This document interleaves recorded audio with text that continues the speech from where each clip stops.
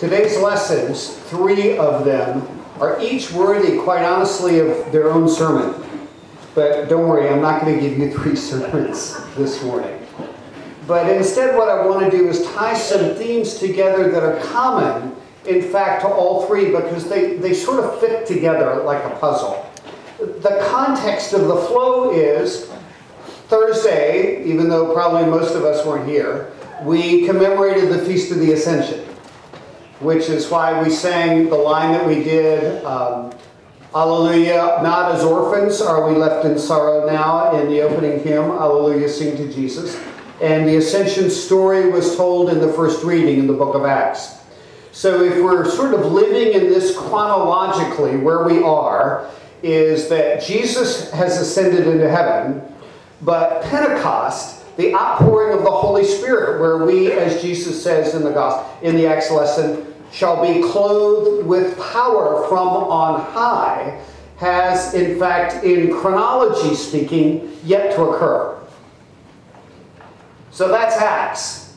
In other words, the command in the book of Acts is, I have been with you in person, but now I'm going to be with the Father. And the reason that I'm going to be with the Father is not to leave you as orphans, but to make way for the third person of the Trinity, who is the Holy Spirit, who will come and pour out the very divine life that you have seen in me will now come and be upon you, clothed with power from on high power meaning the Greek word is dunamis, from which we get the word dynamite. In other words, as somebody said uh, not long ago, Pentecost is actually the celebration of our incendiary nature. We are on fire. And so that's what Pentecost is all about. So we're in this position of being in waiting mode for something that we have yet to be have yet to receive if we're following the chronology of the liturgical year. But in truth, Pentecost has happened, and we who are Christ's enjoy the very presence of the Holy Spirit inside of us. Now, if for whatever reason that is not true for you, then I would encourage you to ask. Because Jesus promised that he would pour out his spirit on all who belong to him. In fact, the promise is all flesh. And so that means there is no reason in the world, if you have said yes to Jesus, that the power and presence and the vibrant life of the Holy Spirit cannot be yours, both within you as well as surrounding you. And everything that we're going to walk through in baptism and in confirmation affirms that central truth that what we believe is that in our commitment to Jesus, He pours out His grace and His life and His love, His extraordinary dunamis presence in us. And, and I'm, I'm here to testify this morning, if I can use that revivalist term, that in fact I know that in my life. I know the presence and power of the Holy Spirit, and I am grateful to God for it because let me tell you, God asks you to do things that you cannot do on your own. You need the presence of the Holy Spirit to be able to do it.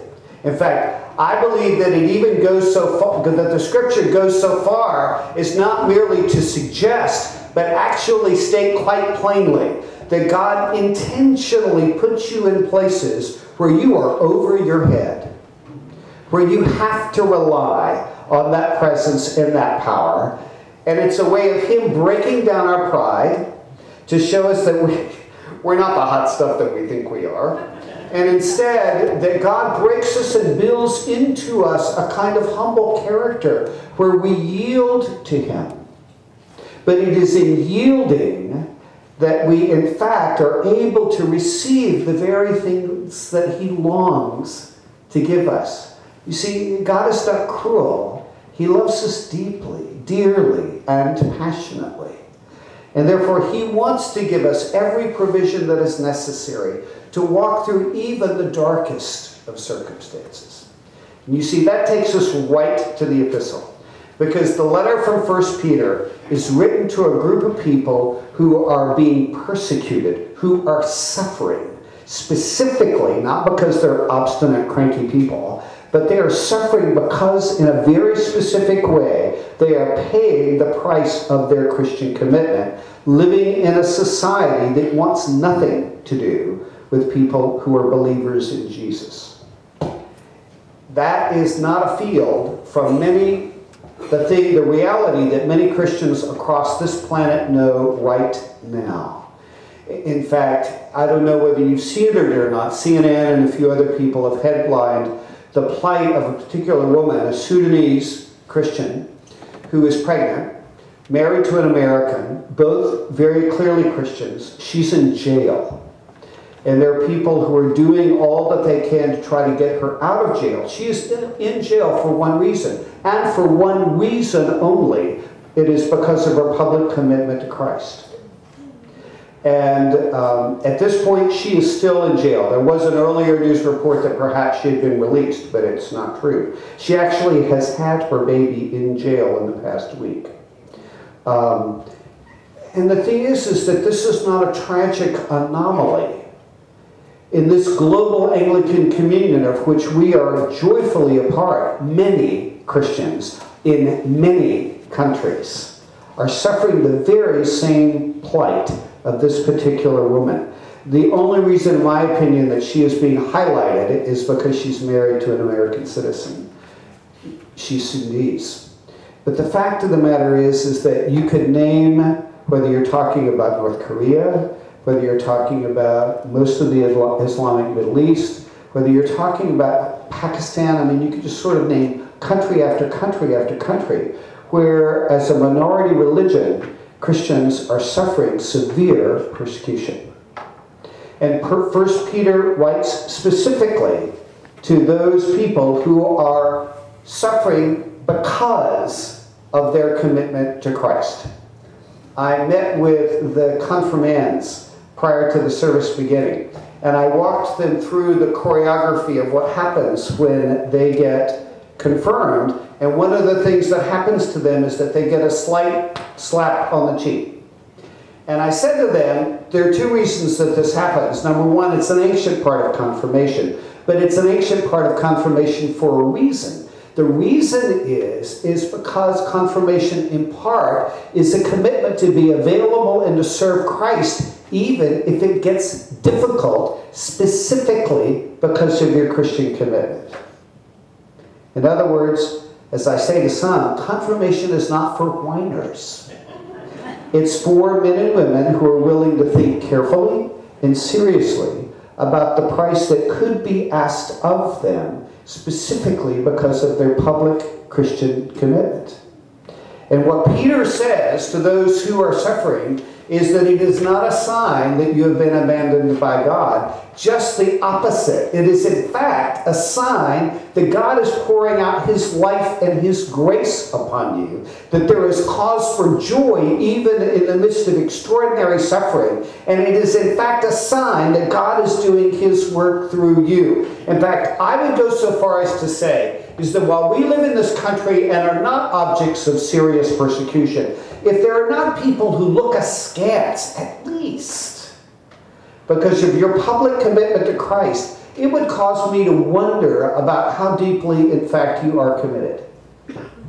Because the normative assumption of the scriptures is that if you are serving Jesus, if you are thinking carefully about what it means to serve Jesus and how that applies to the way you spend your money and how you order your time, what that does in terms of your relationships, how you think about life in your culture and in politics and in business and the arts. That in fact, what you're doing is that you have relegated the Christian faith to a private sentiment that actually doesn't speak into the rest of your life. And the scriptures do not know of Christians that live with that kind of privatistic pietism. Just the opposite. What it means to call Jesus Lord, to yield to his authority, means all of who I am, relationally, personally, financially, culturally, all are submitted to Him. And that my job is to say, I have come to do your will, O my God. What would you have me do? And there will be times, if you take that kind of commitment with some seriousness, that it will bring you into conflict with some of your family, friends, and neighbors. It's guaranteed. And our job in the midst of that is to respond with graciousness, with kindness, with care, and with deep prayer because sometimes it is not easy. Again, we are often placed in situations where what is asked of us is above and beyond what we can personally muster. And we need God to give us what we cannot produce on our own, especially when the cause winds up resulting in my need to forgive, my need to overlook fault, my need to be gracious in the midst of conflict, my need to offer that soft answer in the midst of anger and wrath, my need to think reasonably and carefully when it seems as if everybody else has just gone off their rocker have you ever been in a situation like that? Who's speaking the truth there? Or if you have the courage to speak the truth, then what winds up happening, especially if you're in the midst of a group of people who all think you're kind of crazy, is that they shoot the messenger. We need the grace of the Holy Spirit to live with that kind of courage, that kind of graciousness, even in the midst of difficulty. And the glory of what Peter is saying is God will give you what you need. God will give you what you need. And then that takes us to the last section, which is the Gospel of John. The Gospel of John really deserves its own almost Sunday school teaching where we sit down and hammer it through verse by verse. It's a prayer that's almost out of time. Yes, the context is Jesus is in the garden He's about to be arrested. His disciples, you know the story, are all asleep. And Jesus, at one level, is utterly alone in terms of human support. So he turns in a way that is only, for me, astonishing. He turns to his heavenly Father and actually starts praying for all those people that he knows is going to abandon them. And the prayer that he prays for them, as well as the rest of the followers, which means, you see, includes us, is that God would bind us together, give us a care and a compassion for one another, that God would unite us by the Holy Spirit, all under the authority of Jesus, who is our only Lord. And the promise that he will continue to pray that prayer. In fact, it says in Hebrews, that Jesus lives to pray for us. I, I love that. That even when I'm in a position when I feel as if no one is praying for me at all, I know that Jesus literally is standing in the heart of the Trinity, making intercession, praying for you and for me. That we have, in fact, an advocate in heaven standing in the very heartbeat of God, speaking our name, our name. That's what undergirds all of what it is that we do. So, number one, the promise of the Holy Spirit. If you've got it, thanks be to God. If you don't, you ought to ask for it. Secondly, because if you're going to make a commitment to serve Christ, then you will need his supernatural power because there will be times that will be very difficult. And you need God's strength and mercy to be able to get through them. You need the companionship of the Holy Spirit that Jesus describes. And yet, not only does God give us the presence of the Holy Spirit, but He literally undergirds our whole life with His intercessions and with His prayers. Even at this very moment, the Trinity is praying for you. And that you are not alone. And that God will work through you that which He desires. So that what begins to happen in your life is that God uses you to be a blessing to other people. And to touch them with the very same grace and power that God has touched you. Because that's, you see, the point. The point of the Christian life is not just for me to feel better, although that happens. The point of the Christian life is not just so that I get to heaven, although that happens. The point of the Christian life is as someone who has been touched by the Holy Spirit, who has the assurance of eternal life in the depths of his soul, he or she chooses to say, Here I am, God, use me, even though it might cost me. In the end, that's really the meaning of confirmation. Men and women who are willing to say, Here I am, O Lord, send me. So, as we walk through baptism, confirmation, reception, and reaffirmation, I hope what happens to you is that you will, remind, you will be reminded of the promises that you made when you stood in their stead. Or if in fact that, that is a very distant memory, or perhaps never even happened, that in that time you will say yes to Jesus in a new way.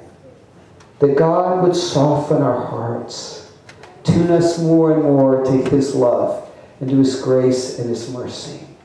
And know that there is no one who upholds us, prays for us, and provides for us like Jesus. Amen. Amen.